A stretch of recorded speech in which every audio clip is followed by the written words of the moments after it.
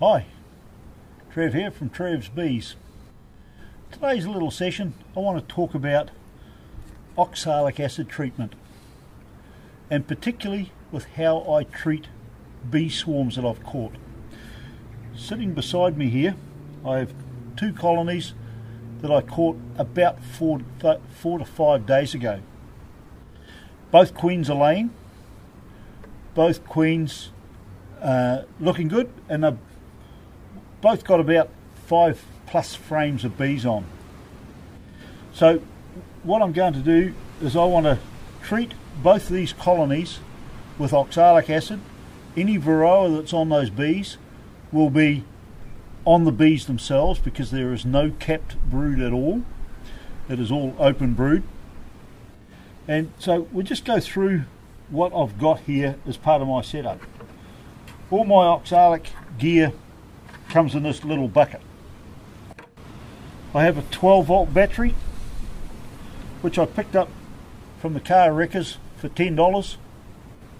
Just asking for a battery and you just checking the head of it here to see that it's green and as long as it's showing green not yellow or red so the next thing is we have the oxalic vaporizing iron. In this case I get mine from Venom Pro. A little bit dearer than some of the others that are available but I find that this one has a very consistent burn temperature and it burns very well or vaporizes very well.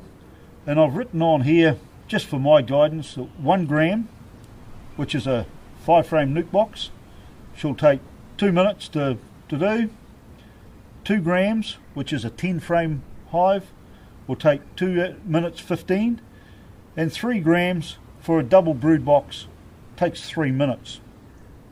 So this is the oxalic acid. And the other thing, to get my timing, I carry a stopwatch. A little word of warning here. This stuff, in its state, is very safe. You're not going to get hurt with it. However, once you vaporize it, the fumes are very toxic. They are not very nice doesn't harm the bees at all. In fact, hardly even get any bees come out of the box. They're not really worried about it. But we can actually taste it in the atmosphere. So on a windy day like today, not too bad. Once I put it in, I just move out of the out of the way, let it do its treatment, and then I'll come back and get into it for the next uh, the next hive. Okay, so this is what we do. We've got a couple of teaspoons in here. One's a half teaspoon and one's a quarter teaspoon. We only need to do a quarter teaspoon. Okay, so we'll put one gram in there. I pat it down so it's all pretty even. Put the iron in.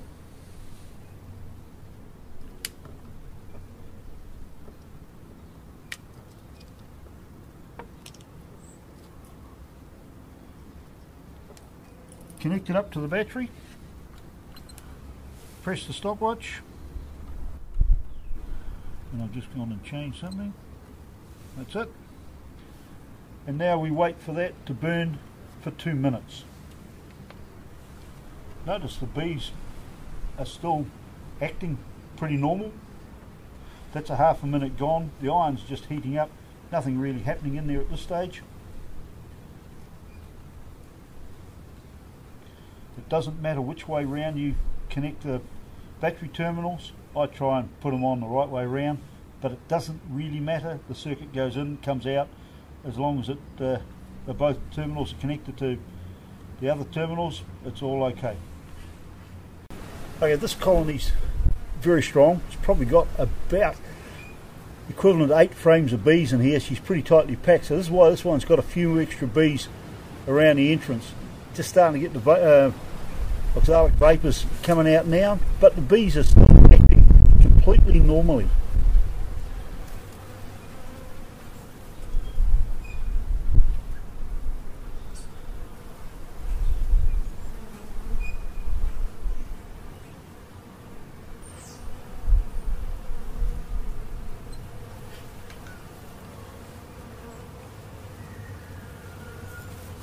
Okay, well that's it with that one as well. We've done the two minutes.